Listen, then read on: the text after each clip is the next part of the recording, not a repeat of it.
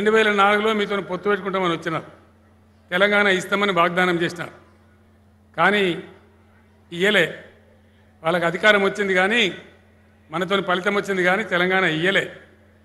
ఇయ్యకుండా పదిహేను సంవత్సరాలు పార్టీని జీల్చే ప్రయత్నం చేసినారు.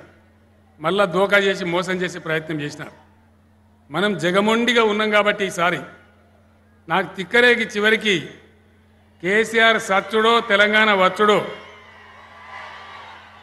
కేసీఆర్ శవయాత్రన తెలంగాణ జైత్రయాత్రన ఏదో ఒకటి తేలాలని చెప్పి ఆమరణ దీక్ష కూర్చుంటే అప్పుడు ముప్పై మూడు పార్టీలు మనకు మద్దతు వస్తే అప్పుడు ఇక దిక్కులేదు రాని దిగి వచ్చినారు.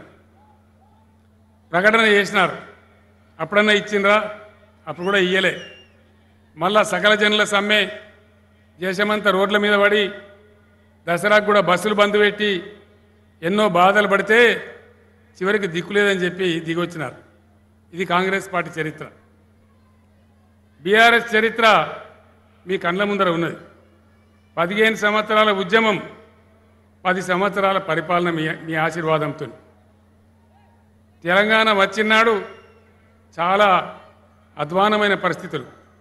మంచినీళ్ళు లేవు సాగునీళ్ళు లేవు కరెంటు లేదు చేనేత కార్మికుల ఆత్మహత్యలు రైతుల ఆత్మహత్యలు చాలా భయంకరమైన పరిస్థితి. గ్రామాలు వదిలిపెట్టి వలస పోయి బతికినటువంటి పరిస్థితి. ఆ పరిస్థితులలో ఉన్నాం. మేధావులతో మాట్లాడి చర్చలు జరిపి మొట్టమొదటి ప్రాధాన్యత పేదల సంక్షేమానికి ఇచ్చినాం. మీరందరూ ఆలోచన చేయండి. కాంగ్రెస్ గవర్నమెంట్ ఉన్నప్పుడు కేవలం రెండు వందల రూపాయల పెన్షన్ ఇచ్చినారు. దాన్ని వెయ్యి రూపాయలకు తీసుకొని పోయినాం. తర్వాత పెంచి రెండు వేల రూపాయలు చేసుకున్నాం. ఆ రెండు వేల రూపాయలు ఎటు కూడా సరి ఆ రెండు వందల రూపాయలు ఎటు కూడా సరిపోదని కనీసం పెన్షన్ ఇస్తే వాళ్ళు రెండు పూటలు అన్నం తినాలని మానవీయ దృక్పథంతోనే ఆ పని చేసినాం. నేను అడిగిన అధికారులను పెన్షన్లు ఎందుకు ఇవ్వాలి గవర్నమెంట్ అసలు? దేనికోసం ఇవ్వాలి పెన్షన్లు? అనుకోకుండా కొంతమంది సమాజంలో విధి వంచితులు అవుతారు. కొంతమందికి భర్తలు చనిపోవచ్చు.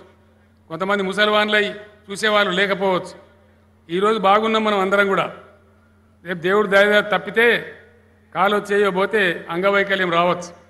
ఇట్లాంటి విధి వంచితులు ఎవరైతే ఉంటారో వాళ్ళని తప్పకుండా ప్రభుత్వమే ఆదుకోవాలి. అందుకోసం ఆ రెండు వందలు వంద అట్లా ఇవ్వడం కరెక్ట్ కాదు. కనీసం వెయ్యి రూపాయలు పెట్టమని వెయ్యి రూపాయలతో స్టార్ట్ అయినాం ఇలా రెండు వేలు చేసుకున్నాం. రేపు మళ్ళీ మన గవర్నమెంటే వస్తూ ఉంది.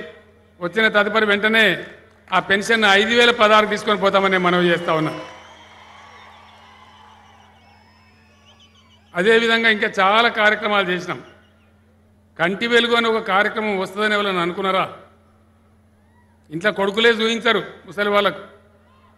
కళ్ళద్దాలు కావాలంటే చూయించరు. నువ్వేమైనా రాజ్యమే లేదు ఉన్నదా తీరాదు ఊకో అంటారు. ప్రతి ఊరికి డాక్టర్లను పంపించి మూడు కోట్ల మందికి కండ్ల పరీక్షలు చేయించి ఎనభై లక్షల మందికి ఫ్రీగా కండ్లద్దాలు ఇచ్చినాం. ఇలా ఆడబిడ్డలు ప్రసూతికి పోతే గతంలో బాగా దోపిడీ ఉండేది. ఇలా ప్రభుత్వం నుంచే అమ్మఒడి వాహనాలు పెట్టి ఆ అమ్మాయిని తీసుకెళ్ళి మందులు ఇవ్వటం పరీక్షలు చేయటం మళ్ళీ ప్రసవానికి తీసుకెళ్ళటం ప్రసవం చేయించి అమ్మాయి పుడితే పదమూడు వేల రూపాయలు ఇచ్చి అబ్బాయి పుడితే పన్నెండు వేల రూపాయలు ఇచ్చి కేసీఆర్ కిట్ ఇచ్చి మళ్ళీ తీసుకొచ్చి ఇంటికాడ అమ్మఒడి వాహనంలో తీస్తూ ఉన్నారు. ఇవన్నీ మీ కళ్ళ ముందర జరిగేటివే. కళ్యాణ లక్ష్మి కావచ్చు అనేక విషయాలు మీ కళ్ళ ముందరనే ఉన్నాయి. ఇట్లా పేదల సంక్షేమం చూసుకొని రైతుల గురించి తీసుకున్నాం నిర్ణయం. రైతుల గురించి ఆనాడు నేను చెప్పినట్టు కరెంటు లేదు ఎవ్వి లేవు చాలా బాధలు ఉండే. రైతాంగం స్థిరపడాలి వ్యవసాయ స్థిరీకరణ జరగాలి. దానికి చేయవలసినంత చేయాలని ప్రణాళిక మొదలుపెట్టాం ఒకటి నేను మీ అందరికి మనవి చేస్తా ఉన్నా. మూసీ ప్రాజెక్ట్ ఉంది మీ దగ్గర. గతంలో ముక్కు విండి నీటి తీరువ వసూలు చేసేది. నీళ్ళు ఇస్తే పన్ను వసూలు చేసేది. కానీ దాన్ని మేము రద్దు చేసినాం. రద్దు చేయడమే కాదు నీటి తీర్మానం అవసరం లేదు ప్రజల నుంచి ట్యాక్స్ అవసరం లేదని దాన్ని తీసుకోవడం లేదు. రెండవది ఇరవై నాలుగు గంటల కరెంటు మంచి నాణ్యమైన కరెంటు ఫ్రీగా ఇస్తూ ఉన్నాం.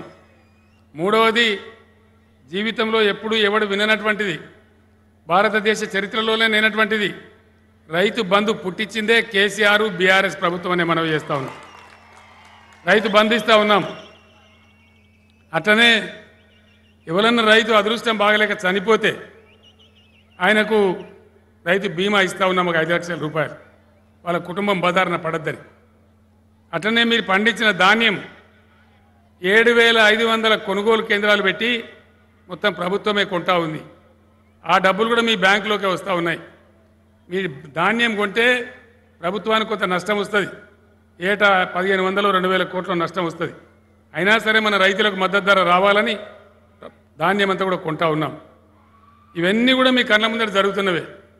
ఇవన్నీ చేసినాం. ఇవాళ కాంగ్రెస్ పార్టీ మాట్లాడుతున్నది. ఏం మాట్లాడుతున్నది? ఇప్పటికే మేము ఇక్కడికి నీళ్ళు కూడా తెచ్చినాం. కొన్ని తెగలిని తెచ్చినాం. ధర్మారెడ్డి కాలువ పిల్లాయిపల్లె కాలువ బ్రాహ్మణ వెలెంల ప్రాజెక్టు అవన్నీ ట్రయల్ రన్ కూడా అయిపోయినాయి. ఒకసారి బ్రాహ్మణ వెల్లెంలో అయిపోతే ఒక లక్ష ఎకరాలకు నీళ్ళు వస్తుంది మీకు. రాబోయే ఐదారు నెలల్లో ఆ నీళ్ళు తెచ్చిచ్చే బాధ్యత నాది అని చెప్పి నేను మనవి చేస్తా ఉన్నా. అట్నే ధర్మారెడ్డి కాలువ పిల్లాయిపల్లె కాలువ కూడా డెబ్బై శాతం పనులు పూర్తి అయినాయి. మిగిలిన పనులు కూడా అయిపోతాయి. దాని నుంచి కూడా ఎన్ని రావాలని నీళ్ళు వస్తాయి. మీకు ఇంకోటి చెప్తాను నేను కాళేశ్వరం లింక్ చేసి భువనగిరి దగ్గర కట్టినటువంటి బస్వాపూర్ రిజర్వాయర్ నుంచి మన రామన్నపేట ప్రా- ప్రాంతానికి కూడా రామన్నపేట మండలానికి బ్రహ్మాండంగా నీళ్ళు వస్తాయి. రామన్నపేట చాలా కరువు ప్రాంతం నాకు తెలుసు. అందుకే బస్వాపూర్ నుంచి దానికి ప్రొవిజన్ పెట్టినాం. ఆ నీళ్ళు కూడా మీకు వస్తాయి. ఇవన్నీ మేము చేసినాం. కరెంటు మంచిగా ఇస్తూ ఉన్నాం. ధాన్యం కొంటా ఉన్నాం. కానీ ఇలా కాంగ్రెస్ పార్టీ మాట్లాడుతూ ఉంది. చాలా ప్రమాదం. మూడు నాలుగు విషయాలు చెప్తున్నారు. వాళ్ళు కరాఖండిగా చెప్తున్నారు. కుల్లా కుల్లా టీవీలలో కూర్చొని చెప్తున్నారు. ఒకటి ప్రజలు కట్టినటువంటి అమూల్యమైన డబ్బులు కేసీఆర్ రైతు బంధు ఇచ్చి వేస్ట్ చేస్తాడు. అని మాజీ పీసీసీ అధ్యక్షుడు ఉత్తమ్ కుమార్ రెడ్డి మాట్లాడుతూ ఉన్నాడు. రైతు బంధు వేస్టా అండి? వేస్టా రైతు బంధు? రైతు బంధు వేస్టా? రైతు బంధు ఉండన్నా పక్కా ఉండన్నా రైతు బంధు ఉండాలి అంటే ఇక్కడ చిరుమర్తి లింగయ్య గెలవాలి. గెలవడమే కాదు చిరుమర్తి లింగయ్య గెలిస్తే రైతు బంధు పదివేలే ఉండదు. ఇలా ఎకరానికి పదివేలు ఉంది అది పదహారు వేల రూపాయలు అవుతుందని చెప్పి నేను మీకు మనవి చేస్తా ఉన్నా. పిసిసి ప్రెసిడెంట్ మాట్లాడుతూ ఉన్నాడు. ఇరవై నాలుగు గంటల కరెంటు కేసీఆర్ వేస్ట్కి ఇస్తాడు. మేము వస్తే మూడే గంటలు ఇస్తామని చెప్తుండు. మూడు గంటలతో పొలం పారుతుందా? పారుతుందా? ఎన్ని గంటలు ఉండాలి? వినబడతలేదు. ఇరవై నాలుగు గంటలు ఉండాలి. ఇరవై నాలుగు గంటలు ఉండాలంటే కూడా సిరిమర్తి లింగయ్య గెలవాలి. లేకపోతే ఉండదు కాంగ్రెస్కి వెళ్తే ఎట్లొస్తుంది రాదు కదా. వాళ్ళు చెప్తున్నారు కదా మేము మూడే గంటలు ఇస్తామని. మేము అడిగినాం మూడు గంటలు ఇస్తే ఎట్లా పారుతుందిరా మరి? ఏం చేయాలని అడిగినాం. రైతులట పదాస్పర్ల మోటార్ పెట్టుకోండి టెన్ హెచ్పి రైతుల దగ్గర ఉంటుందా ten HP motor? Three HP ఉంటుంది తప్పితే ఫైవ్ హెచ్పి ఉంటుంది. అంతే కదా? తెలంగాణలో ఇవాళ ముప్పై లక్షల పంపు సెట్లు ముప్పై లక్షలు. ఒకటి కాదు రెండు కాదు. ముప్పై లక్షల పంపు సెట్ల కనుక టెన్ హెచ్పి పెట్టానంటే ముప్పై వేల కోట్ల రూపాయలు కావాలి. ఎవడియాలి వీని అయ్యా ఇస్తాడా? ఎవడిస్తాడు? అందుకోసం దయచేసి ఆలోచన చేయమని కోరుతున్నాను నేను సీటీలు బీటీలు కొట్టుడు కాదు. చాలా సీరియస్ విషయం ఇది. ఇది వాళ్ళ విధానం. వాళ్ళు చెప్తున్నారు ఓపెన్గా చెప్తున్నారు. వాళ్ళు వస్తే మూడే గంటలు ఇస్తారు. మళ్ళీ వైకుంఠపాలి ఆటలో పెద్దపా మింగినట్టు అవుతుంది మన కథ. అందుకోసం ఆలోచన చేయండి. ఇంకో మాట చెప్తున్నారు అది చాలా డేంజర్ ఇంకా. ఏందది? మేము రాహుల్ గాంధీ చెప్తున్నాడు బట్టి విక్రమార్క చెప్తున్నాడు పిసిసి అధ్యక్షుడు రేవంత్ రెడ్డి చెప్తున్నాడు. ఈ కోమటిరెడ్డి కూడా దానికి సున్నాయి వాయిస్తున్నాడు. ఏంటిది కాంగ్రెస్కు అధికారం వస్తే మేము ధరని తీసి బంగాళాఖాతంలో ఇస్తాం దాని ప్లేస్లో భూమాత తెస్తారట. అది భూమాతనా భూమేతనా? ఎందుకంటే ధరని ఎందుకు తెచ్చినాం మేము? ధరణి మీద చాలామంది పెద్ద పెత్తందారులు ఉండ్రి విఆర్ఓ నుంచి మొదలుకుంటే రెవెన్యూ సెక్రటరీ దాకా.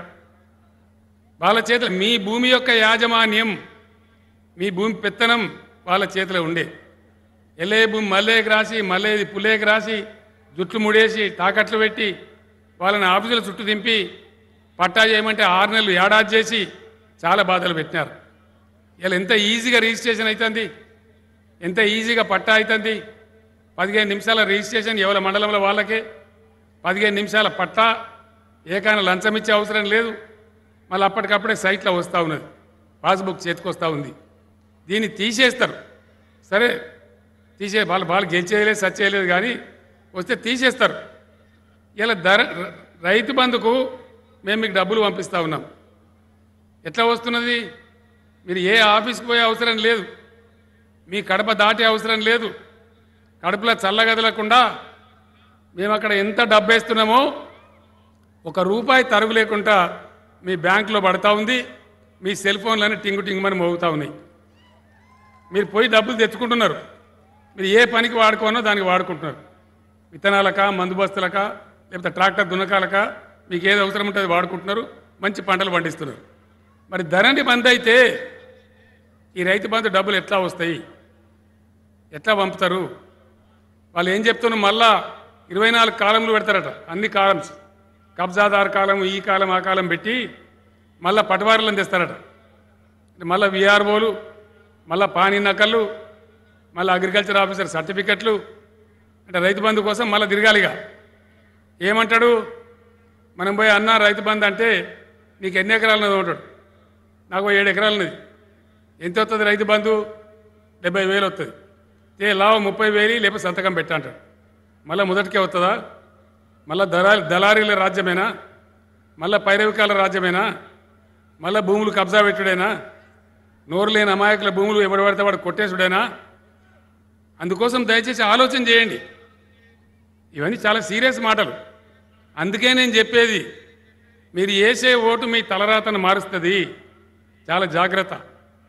మంది మాటలు పట్టుకొని మారుమానం పోతే మళ్ళా చివరికి ఇల్లు కాలిపోయిందని. అంతే కదా? నేను అందుకే చెప్పేది ఎవడో చెప్పిండని ఓటు వేయద్దు.